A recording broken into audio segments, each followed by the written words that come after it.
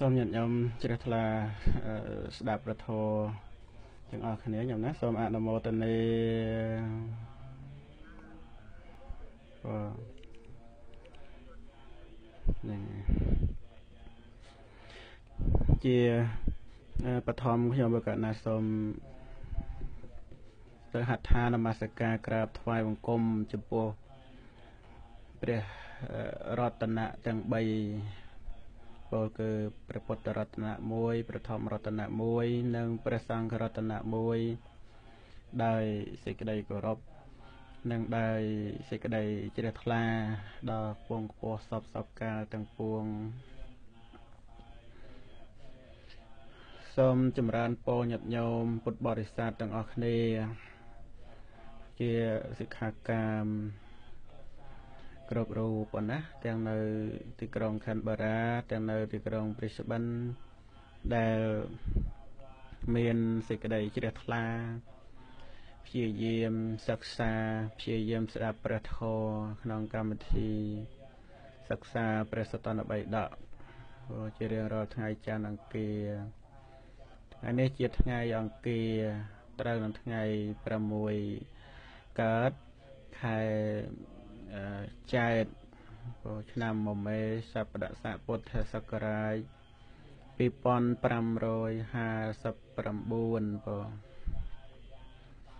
បន្តបន្តទៅញណាអាត្មាភាពនឹងបានឱកាសដើម្បីអារតនីនៅប្រធមមកសំដែងខាងដើមកម្មវិធីបងខាងដើមកម្មវិធីហើយហើយ មុននឹងសំដែងក៏សូមចម្រើនពរញាតិញោម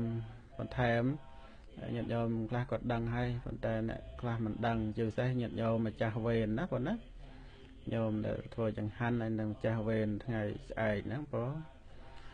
ប្រសង់នៅវត្តយើងនេះឥឡូវមានរហូតដល់ទៅ4ព្រះអង្គបងណាដែលអឺមួយអង្គទៅតែនិមន្តមកដល់ ថ្ងៃមិញនេះនិមន្តមកពីអាដាលេដលោកមកស្គាល់ញាតិញោមពុទ្ធបរិស័ទនៅ Brisbane នេះ3 4ថ្ងៃមកហើយហើយឥឡូវបាននិមន្តមកសម្រាកនៅក្នុងវត្តហ្នឹងខ្ញុំណាត់អាភិបក៏មិនតន់បានសំណេះសំណាលសួរថានិមន្តមកប្រហែលថ្ងៃអីយ៉ាងណាក៏មិនតន់បានសួរដែរព្រោះតើនឹងចេញទៅជួបតិចទៅក៏សួរសតុបានពីប្រមាត់ប៉ុណ្ណឹង ណាចឹងគ្រាន់តែជម្រាបជូនញាតិញោមថាព្រះសង្ឃមានចំនួន4ព្រះអង្គចង្ហាន់ធម្មតាមិនអីទេញោមណាដូចធម្មតាហ្នឹងក៏បានដូចគ្នាមិនចាំបាច់បន្ថែមអីក៏បានព្រោះញាតិញោមធ្វើមករាល់ដងហ្នឹងក៏ច្រើនឆាន់មិនបន្លោះចង្ហាន់ផងទេនៅគ្រាន់តែជម្រាបចំនួនឲ្យដឹកព្រោះហ្នឹងហើយហើយពេលព្រឹកអីហ្នឹងក៏ យើងធ្វើធម្មតាទៅចានមួយចានទៅក៏បានមីមួយចានមួយអង្គក៏បានមិនពិបាកអីទេញាតិញោមប៉ុន្តែដោយមួយរយៈពេលកន្លងមកនេះដែលបានញោមបាសិកាខៀវដានីព្រោះគាត់បានធ្វើជំនួសជំនួសញោមបាសិកាខឹមអេងបងហើយ បានញោមបាសិកាមែនតុំបាសិកាមែនតុំក៏គាត់បានមកជានិច្ចផងដែរទាំងពេលវេលាដែលញោមបាសិកាខឹមអេងនៅក៏គាត់មកបានរាល់ព្រឹកដែរហើយញោមបាសិកាខឹមអេងទៅស្រុកខ្មែរញោមដានីមកធ្វើចំនួនពេលព្រឹកថ្ងៃច័ន្ទថ្ងៃសុក្រហ្នឹងក៏បាសិកាមែនតុំគាត់មកជាប់រហូតផងដែរ មកជួយកិច្ចការចង្ហាន់ហ្នឹងមានដាំទឹកតែឬអីចឹងទៅជួយរៀបបង្អែមចឹងទៅដែលចង្ហាន់ហ្នឹងគឺញោមបាសិកាខៀវដានីអ្នកធ្វើរយៈពេលកន្លងមកដែលញោមបាសិកាខឹមអេងទៅស្រុកខ្មែរហ្នឹងហើយក្នុងនោះក៏មានបាសិកាវួយលីខាងហាងវាកងគាត់មកម្ដងម្កាលដែរមិនបានមករត់ព្រឹកក៏បានមកម្ដងម្ដងដែរហើយបាសិកាមាសចន្ទថន ពេលព្រឹកហ្នឹងក៏បានមកម្ដងមកការដែរប៉ុន្តែអ្នកដែលជួយជាចិនត្រៃដល់ថ្ងៃនេះគឺញោមបាសិកាខៀវដានីបងហហើយក៏គាត់ពូកែធ្វើមហូបអាហារគាត់មិនសូវដែលដាំបាយអីទេគាត់ច្រើនតែធ្វើអាហាររបៀបអឺអឺរ៉ុបហ្នឹងហើយឲ្យប្រសងលោកបានឆាន់ផ្លែកផ្លែកអញ្ចឹងទៅក៏ល្អញាតិញោមហ្នឹង មានអីយើងចេះធ្វើជំនាញយ៉ាងណាក៏អាចធ្វើផ្លែកផ្លែកអញ្ចឹងទៅ ដើម្បីបានប្រគេនប្រសងឆាន់ព្រោះប្រកដីធម្មតា បាយបបរបាយបបរអីចឹងទៅហើយញាតិញោមជំនាញអាចធ្វើអីក្រៅអំពីបាយអំពីបបរបានហ្នឹងក៏រត់តែពិសេសទៀតហ្នឹងហើយហ្នឹងគឺជាអឺ សេចក្តីជ្រះថ្លារួមផ្សំជាមួយនឹងជំនាញរបស់ញាតិញោមផងដែររួមជាមួយនឹងជំនាញដែលញាតិញោមអាចធ្វើបានហើយពុទ្ធបរិស័ទដែលមានសេចក្តីជ្រះថ្លាក៏ចូលរួមចង្ហាន់ពេលព្រឹកពេលអីក៏បានក៏មិនបានមកធ្វើខ្លួនឯងក៏អាចចូលរួមជាវិភាកទានជាថវិកា10 20រៀល30រៀល100អីជាដើមអញ្ចឹងទៅ ហើយពុទ្ធបរិស័ទដែលមានឱកាសចូលមកធ្វើចង្ហាន់ប្រគិនប្រសង់ក៏គាត់ឆ្លៀតពេលវេលានៅឯងមកជួយធ្វើដើម្បីបន់កុសលហើយនឹងដើម្បីជាឧបការៈដល់ការជ្រោមជ្រែងប្រសង់នៅក្នុងទីនេះសម្រាប់ការផ្សព្វផ្សាយពុទ្ធសាសនានៅក្នុងទីនេះផងដែរព្រោះនឹងជារឿងសំខាន់ណាស់ដែរសម្រាប់ ការទំនុកម្រងនៅថវិកាដល់បច្ច័យ4ហ្នឹងព្រោះហើយព្រឹកមិញនេះតាមឃើញញោមបាសិកាខៀវដានីគាត់សរសេរតាមអ៊ីនធឺណិតហ្នឹងឃើញញោមបាសកយុសបន្ទេតដែលនៅក្នុងវត្តហ្នឹងគាត់បានចូលចង្ហាន់ហ្នឹង120 120ដុល្លារផងដែរពេលព្រឹកហ្នឹងណាហើយឃើញគាត់បាន រំលែកថវិកាហ្នឹងមួយមួយចំណែក50ដុល្លារហ្នឹងឲ្យទៅខ្ញុំមែនតុំទិញជាផ្លែឈើទិញជាបង្អែមមកចឹងទៅទៅខាងប្រមាណគាត់ຕົកធ្វើចង្ហាន់អឺខ្លួនឯងដោយផ្ទាល់ហើយញាតិញោមពុទ្ធបរិស័ទអាចចូលរួមអីបានណាបងណាតើបើយើងមិនបានមកក៏ដោយឥឡូវប្រសងក៏លោកឡើងដល់ទៅ4អង្គផងដែរហ្នឹងហើយហ្នឹង សេចក្តីខាងដើមក្រណិប្រពអំពីការជួយជ្រោមជ្រែងរបស់ញាតិញោមពុទ្ធបរិស័ទក្នុងការទំនុកបំរុងចង្ហាន់ពេលព្រឹកដល់ប្រសង់នៅក្នុងវត្តរស្មីរតនសាមគ្គីនៅ Waterford West រដ្ឋ Queensland ទីក្រុង Brisbane នេះហើយពេលថ្ងៃក៏មានវេនជាអចិន្ត្រៃយ៍អញ្ចឹងទៅវេនមិនដាច់ទេថ្ងៃច័ន្ទ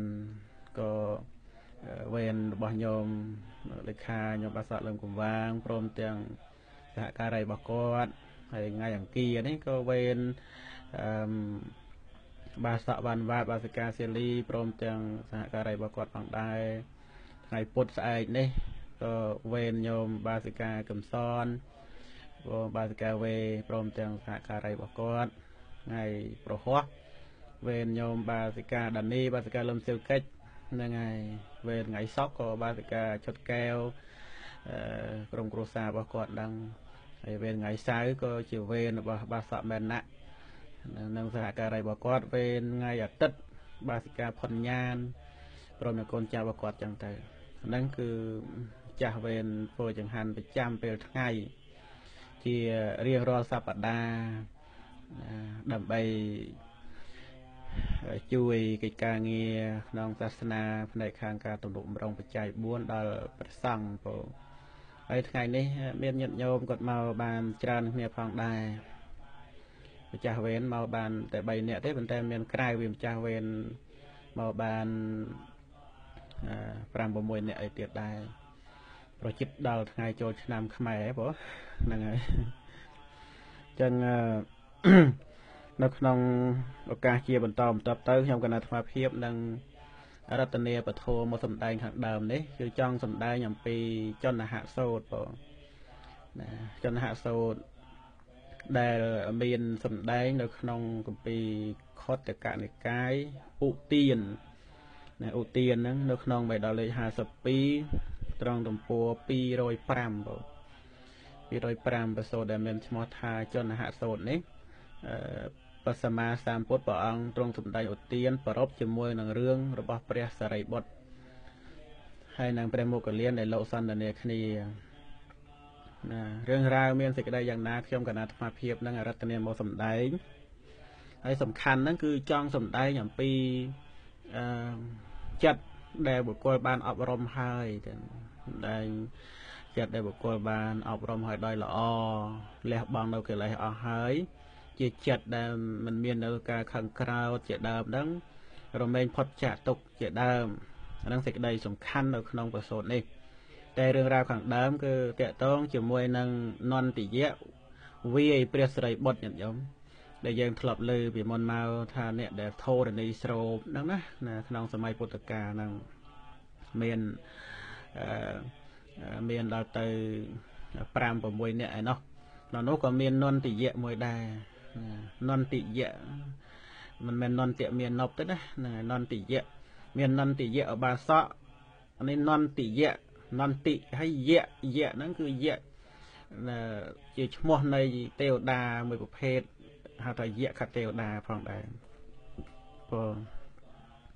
ចឹងសេចក្តីខាងដើមក្នុងការនោះព្រះសម្មាសម្ពុទ្ធព្រះអង្គទ្រង់គង់នៅក្នុងវត្តវេលវ័ន ចិត្តក្រឹងរាជក្រឹសសម័យនោះឯងព្រះអគ្គធម្មសេនាបតីសិរីបុត្រជាមួយនឹងព្រះមហាមោគលាន ជាអគ្គសាវកស្ដាំនិងជាព្រះអគ្គសាវកឆ្វេងលោកបានគង់នៅក្នុងវត្តកបោតកន្តរីវត្តនេះក៏ប្លែកដែរមិនសូវបានលើឈ្មោះទេបងវត្តឈ្មោះតបោណាកណាកបោតកន្តរី ក្នុងកាលនោះព្រះអគ្គធម្មសេនាបតីសិរីបុត្រហ្នឹងលោកទៅតែកោសក់ថ្មីថ្មីញាតិញោមណាកោសក់ថ្មីថ្មី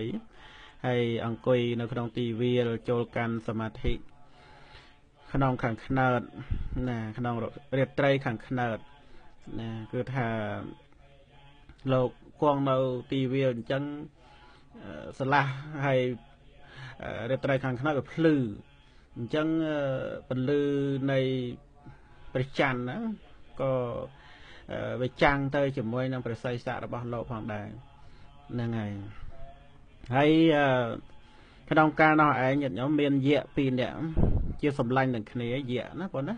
យៈនេះគឺជាយៈខទេវតាណាបងជាសម្លាញ់នឹងគ្នាហើយជាយៈមួយជាសមត្ថធិយៈមួយទៀតជាមិច្ឆាទិដ្ឋិ បានហោះអំពីទិសខាងជើងទៅទិសខាងត្បូងអឺស្រាប់តែយៈដែលជាមិច្ឆាទិដ្ឋិនឹងឯងបានឃើញ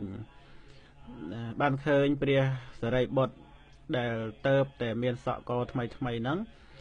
គង់នៅក្នុងទីវាលក្នុងរាត្រីខាងខ្នើតអញ្ចឹងទៅស្រាប់តែយៈនឹងឯងមានចិត្តបាបកើតឡើងញាតិញោម យៈជាមិច្ឆាទិដ្ឋិហ្នឹងណាមានចិត្តបាបកើតឡើងបាននិយាយជាមួយនឹងយៈដែលជាសមត្ថធិជាសម្លាញ់ថាអឺមនាលសម្លាញ់ចិត្តរបស់ខ្ញុំកើតប្រកបដើម្បីប្រហារក្បាលសមណៈនេះ គឺកើតចិត្តអាក្រក់នឹងឯងចង់វាយព្រះសីស័កព្រះស្រីបុត្រពោសីស័កហ្នឹងគឺក្បាលណាសំបីតយៈ នោះក៏ដោយញាតិញោមយៈកតេវតានឹងក៏ដោយក៏មានចិត្តអាក្រក់ដែលមិនតាន់បានលះបង់ទៅដោយអរិយមគ្គផងអញ្ចឹងមានចិត្តគិតដើម្បីប្រហារនៅសីស័កព្រះស្រីបុត្រកាលបើពោលពាក្យហ្នឹងទៅប្រាប់យៈដែលជាសម្លាញ់នោះហើយយៈដែលជាសម្លាញ់ក៏បានហាមឃាត់បានហាមឃាត់ថាមនីសម្លាញ់អ្នកកុំអ្នកប្រហារសមណៈនេះឡើយមនីសម្លាញ់ សមណៈនោះមានគុណដ៏លើសលប់មានរិទ្ធច្រើន មានអនុភាពច្រើនហ្នឹងយៈដែលជាសម្លាញ់នេះជាសមត្ថធិពោលប្រាប់ថាព្រះស្រីបុត្រហ្នឹងលោកមានរិទ្ធច្រើន មានអនុភាពច្រើនអញ្ចឹងអ្នកកុំបៀតបៀននៅសមណៈនោះអីលើកទី1ក៏មិនស្ដាប់ដែរណាយៈដែលជាមិច្ឆរិទ្ធិហ្នឹងក៏នៅតែចង់ប្រហារព្រះសិរីបុត្រទៀតបងបានពោលពាក្យដដែលដដែលហ្នឹងពោលប្រាប់ដល់សម្លាញ់ ចង់ប្រហារនៅសីស័ករបស់ព្រះសិរីបុត្រលើកទី2សម្លាញ់ហ្នឹងក៏បានហាមឃាត់ទៀតហើយមិនស្ដាប់ទៀតយៈហ្នឹងក៏មានបំណងមានចិត្តកើតឡើងបន្ទុសរាយចង់ប្រហាព្រះអគ្គធម្មសេនាបតីសិរីបុត្រជាគម្រប់3ដងនិយាយទៅជាមួយនឹងសម្លាញ់ដដែលដដែលថាចិត្តរបស់ខ្ញុំកើតប្រកាសថាចង់ប្រហានៅសីស័ករបស់សមណៈហ្នឹង ពេលនោះឯងយៈជាសម្លាញ់ដែលជាសមត្ថិហ្នឹងក៏នៅតែហាមឃាត់ថាមនាសម្លាញ់អ្នកកុំប្រហាសមណៈឡើយមនាសម្លាញ់សមណៈនោះមានគុណដល់លើសលប់មានឫទ្ធិច្រើនមានអនុភាពច្រើននឹងគឺជាការបញ្ជាក់អំពីគុណរបស់ព្រះស្រីបុត្រពដែលជាព្រះអរហន្តកម្ពូលលើភិក្ខុទាំងឡាយផ្នែកខាងមាននៅបញ្ញាដែលមានបញ្ញាអាចរាប់ទឹកភ្លៀងអស់ណាប៉ុណ្ណាណាទឹកភ្លៀងធ្លាក់ ក្នុងចម្ពោះទ្វីបហ្នឹងគឺព្រះអគ្គធម្មសេនាបតីស្រីបុត្រហ្នឹងអាចរាប់ទឹកភ្លៀងអស់ណាបងហ្នឹងហើយអញ្ចឹងនៅក្នុងសេចក្តីនេះញាតិញោមពុទ្ធបរិស័ទបានស្ដាប់មកខាងដើមហ្នឹងគឺតកតងទៅជាមួយនឹងគំនិតចិត្តអាក្រក់ឬក៏ចិត្តបាបដែលគិតមិនល្អ